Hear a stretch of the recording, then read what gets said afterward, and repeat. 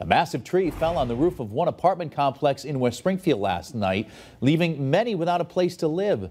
Western Mass News reporter Kristen Burnell has the story. Last evening, um, I believe around 1045, the tree um, fell. I believe it was rotted, uh, lower part of the trunk. Fell on the roof of uh, about six units. Fire officials tell me six families have been displaced from this apartment complex in West Springfield after a massive tree fell and left a hole in their roof. The tree fell on its own, no wind, and it was kind of just because of age and the health of the tree was no good. West Springfield Fire Department spokesperson Tony Spear tells Western Mass News that tree crews worked throughout the day on Friday to clear this fallen tree, seen here at the Van Deene Manor Apartments. We asked Spear when he expects people will be able to move back into their homes. At least a few weeks, depending on the repairs, who they have, and how quickly they get them done.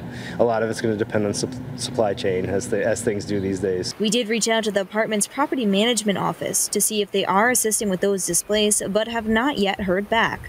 Spear is offering this piece of advice for property owners as we head into the summer months. Keep an eye on your trees and uh, make sure their health is well. Uh, if they aren't, have them serviced and, and try to avoid incidents like this one. Reporting in West Springfield, Kristen Burnell, Western Mass News.